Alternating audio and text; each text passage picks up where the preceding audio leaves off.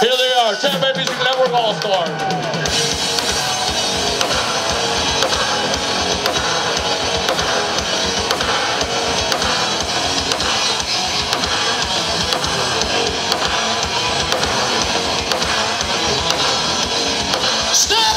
She don't have a name.